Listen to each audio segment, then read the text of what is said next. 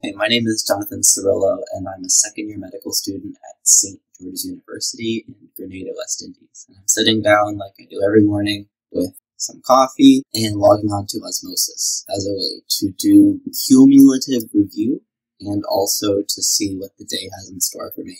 The best feature of Osmosis, which is kind of where everything branches from, is the document upload.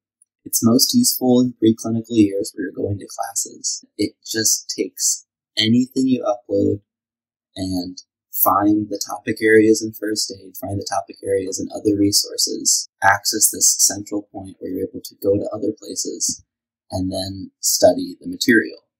And past that, this is the first term's lecture notes printed out for St. George's University. If you upload all of doesn't take too long. You just have to do a little calendar work, a little upload work.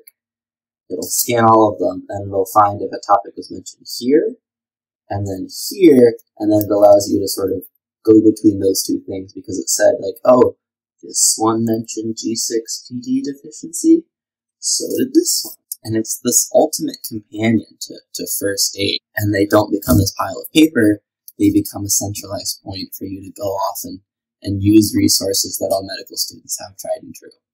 Plus, they have flashcard deck built into the system, organized by topic, an incredible question bank that's always being updated.